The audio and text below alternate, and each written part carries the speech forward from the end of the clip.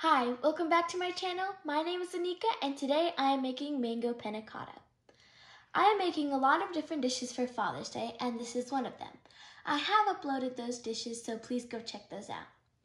So to make the mango panna cotta, you will need a half cup of heavy whipping cream, a half, a half cup of milk, um, two tablespoons of sugar, two tablespoons of water, 3 fourths of a teaspoon of gelatin, and half a teaspoon of vanilla extract.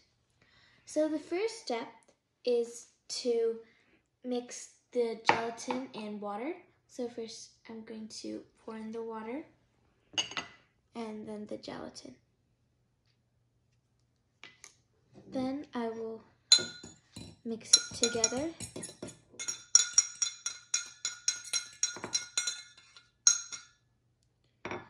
Now I will let that sit for five minutes so that the gelatin can dissolve. In the meantime, I'm going to mix the heavy whip, the heavy cream, the milk, and the sugar together.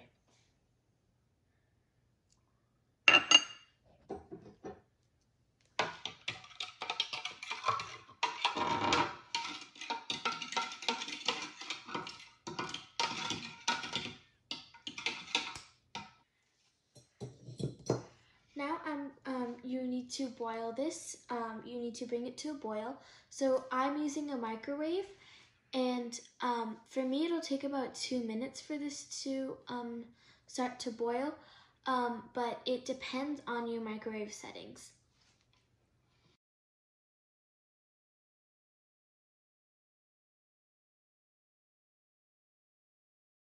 To this um, hot mixture that I just heated, I'm going to pour in the vanilla extract and then mix it. Now um, I'm going to pour this into the um, gelatin and water mixture that has been sitting for five minutes.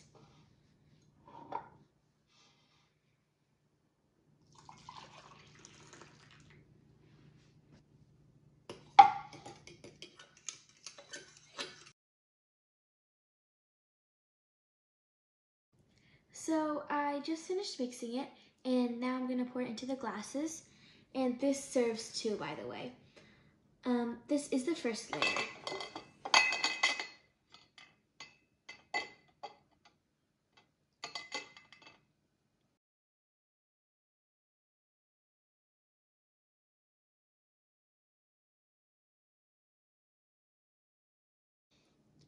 And now I'm going to place these in the fridge.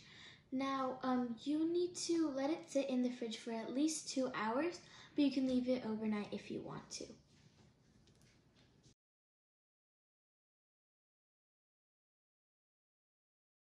Now it's time to make the second layer. So to make it, you will need a couple mangoes, some water, and 3 fourths of a teaspoon of gelatin. So just like we did with the first step, mix two tablespoons of water with the gelatin and then mix it.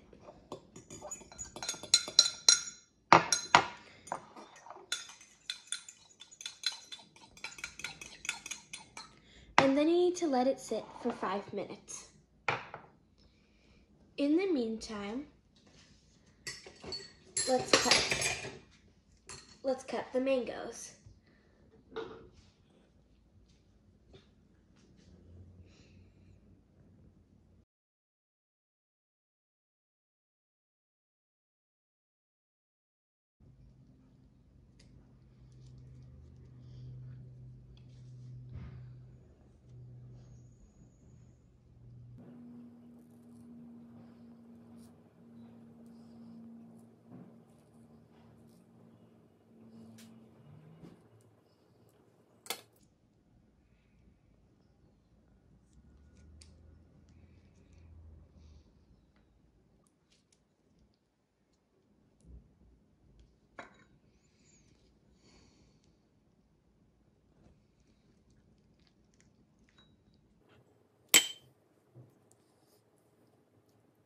Before I blend the mangoes, I'm also going to add a couple of tablespoons of water to it so that um, it can blend easily, more easily.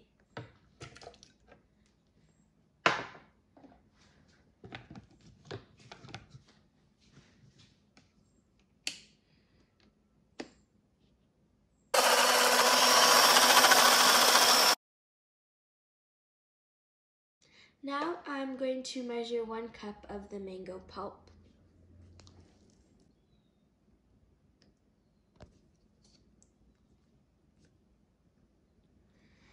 Um, now that that measures out one cup, I'm going to pour half of it into the water gelatin mixture that has been sitting for five minutes.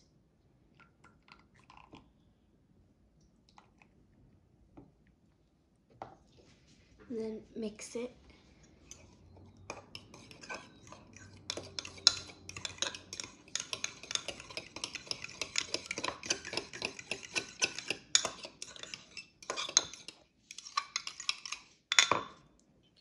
And now I'm going to use a microwave to bring it to a boil.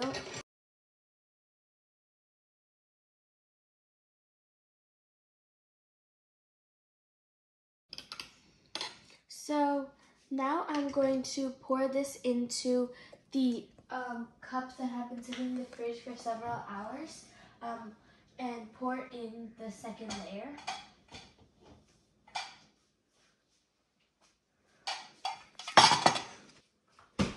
And now I'm gonna make the cup straight because the second layer is just going to fill um, up the rest of the area.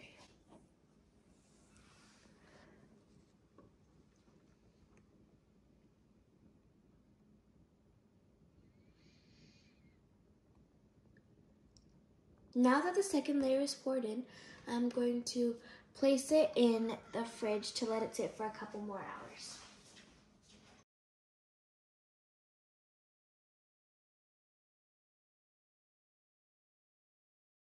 This is the final result of the mango cotta. It looks amazing and it will taste great too. This is one of my Father's Day dishes and I have uploaded those dishes, so please go check those out. Anyways, like, comment, and subscribe, and turn on the post notifications to get notified whenever I post a new video. Anyways, see you guys next time. Bye! I also made some other panna cottas like the butterfly pea flower panna cotta, the dragon fruit panna cotta, and the fresh cherry panna cotta.